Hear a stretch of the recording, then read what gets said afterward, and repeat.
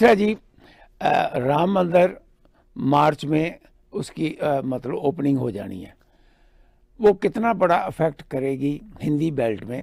बिहार अपने दिल्ली, उड़ीसा उड़ीसा में तो नहीं, लेकिन बिहार, यूपी, उड़ीसा, अपने दिल्ली एंड हरियाणा।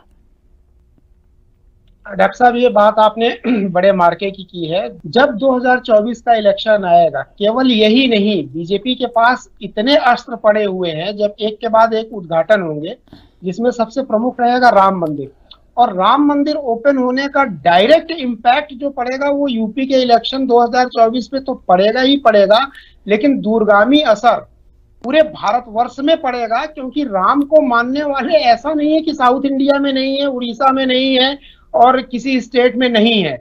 मेजोरिटी तो इन्हीं लोगों की है। और मैं अभी जो मुझे लगता है राम मंदिर ओपन होगा तो ये वर्ल्ड का सबसे बड़ा पिलीग्रिमेज या रिलीजियस टूरिस्ट प्लेस बनेगा। मक्का मदीना वेटिकन को भी ये फेल कर देगा। नहीं नहीं ये छोड़िए नहीं नहीं ये ये मिश्रा जी आप बहुत गलत बात कर रहे हैं।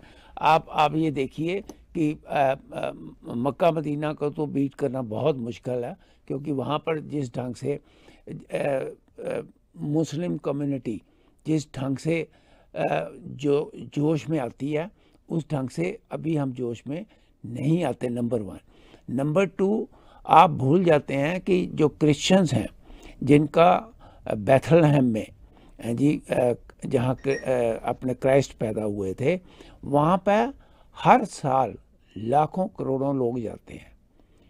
ऐसी कोई बात नहीं है। मैं खुद गया जेरूसलम में। जेरूसलम में क्रूसीफाई जहाँ पर क्राइस्ट को किया गया था, वहाँ पर चर्च है।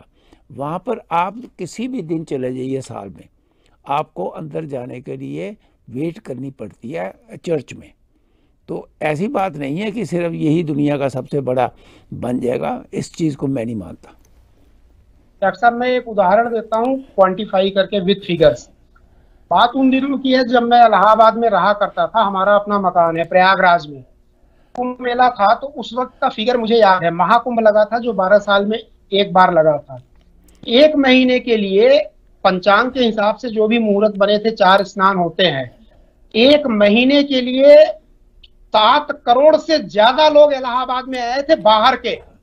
सात करोड़ से ज़्यादा आए थे। और इलाहाबाद प्रयागराज की पॉपुलेशन उस वक्त जो थी, मुझे याद है, कोई बारह या चौदह लाख थी। बारह चौदह लाख के पॉपुलेशन में सात करोड़ बाहर के लोगों को इंटरटेन करना कितनी बड़ी व्यवस्था सरकार जो भी रही हो, समाज ने और सरकार ने किया था। आप ये देखिए कि अगर सात करोड़ लोग वहाँ पे आ सकते हैं और पर्टिकुलर एक दिन के एक मुहूर्त पे, एक नहावन पे, स्नान पे, जैसे पूर्णिमा का हो गया या ये जो चार पड़ते हैं मेन वहाँ पे केवल एक दिन में आप देखिए तो करोड़ों लोग होते हैं और चौदह किलोमीटर लंबा गंगा जी का पाठ था किनारा। और चौदह किलोमीटर लंबे पाठ पे दोनों तरफ़ तिल रखने की जगह नहीं होती है, जिस दिन मुख्य स्नान पर्व होता है। रख लीजिए। भारतीय तो कम पहुँचेंगे। सबसे पहले अमेरिका और कनाडा से लोग वहाँ पे पहुँचेंगे। और कितने विजिटर आते हैं, कितने पिलीग्रिम्स आते हैं या टूरिस्ट लोग आते हैं, ये आने वाला भविष्य बताएगा। नंबर को आप भी नोट करिएगा और मैं भी नोट करूँगा। मैंने एक पास्ट का एग्ज़ाम्पल आपको दिया है। एक दिन में इतनी भीड़ हो जाती है जितनी की शायद साल भर में वहाँ पे विजिटर या टूरिस्ट नहीं पहुँचते होंगे। चलिए जी wish you all the best देखिए मिश्रा जी जो बात कह रहे हैं कुंभ का उदाहरण दे रहे हैं।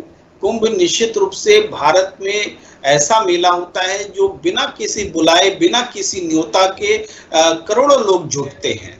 और इस बार भी जब कोरोना के समय में इधर हरिद्वार में लगा था तो 30 लाख के करीब हर रोज लोग आ रहे थे। तो मंदिर का जहाँ तक सवाल है तो मंदिरों में जाना आम हिंदुओं के लिए एकदम से कोई आवश्यक शर्त या आवश्यक परंपरा या आवश्यक बात है नहीं, होती नहीं। मंदिर जाना अवॉइड करते हैं। ये बल्कि आपको साईं बाबा के मंदिर में, शिरडी में जितनी भीड़ जुटती है, दूसरे किसी मंदिर में नहीं जुटती है। ये ये स्थिति है। तो ये बात सही है मिश्रा जी की कि राम मंदिर बनता है तो विदेश के टूरिस्ट ज़्यादा आएँगे।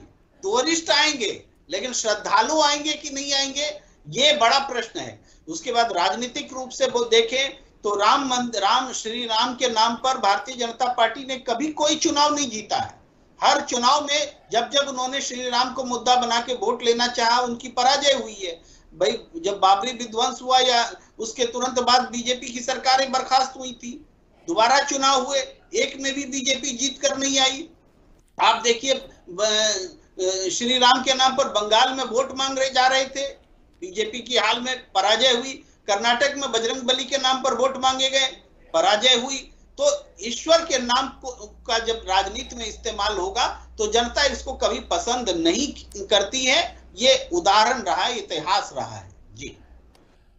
देखिए, प्रेम कुमार जी ने जो बोला ना कि हिंदू लोगों को मंदिर जाना अनिवार्य हिंदू लोग नहीं मानते हैं, मैं बताना चाहूँगा जन्म से लेके मरण तक। बच्चा पैदा होता है तो पहला संस्कार अगर मुंडन वगैरह होता है तो मंदिर में होता है, चाहे लोकल मंदिर हो, चाहे कोई हो।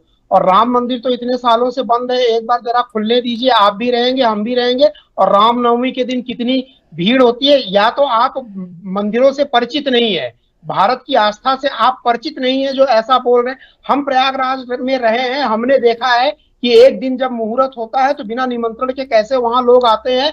इतनी चौड़ी सड़क प्रयागराज में है उस पर मतलब समझ लीजिए मैं आपको क्या बताऊँ, आप जाके देखिए तो आपको पता चलेगा। दूसरी इंपॉर्टेंट चीज़ जो रही कि ठीक है, राम के नाम पे भले बीजेपी को वोट मिले या ना मिले, लेकिन राम के काम पे तो ज़रूर मिलेगा। और मंदिर का पुनर्निर्माण होना मंदिर की ओपनिंग होना ये राम का काम है, राम काज। राम काज पे डेफिनेटली उसका असर पड़ेगा इलेक्शन पे, इसको नोट कर लीजिए। चलिए, मैं भी एक लाइन में कंक्लूड कर देता हूँ। मेरे हिसाब से बीस सौ में प्राइम मिनिस्टर मोदी को हराना बहुत मुश्किल है। अगर मैं ये भी कहूँ कि इम्पॉसिबल है क्योंकि मुझे नज़र नहीं आता अपोजिशन पार्टियाँ जो हैं, वो किसी भी लेवल पर अपने आप को इकट्ठा कर सकेंगी। इन्हीं शब्दों के साथ अजीब मैं आप दोनों का बहुत बहुत धन्यवाद करना चाहता हूँ।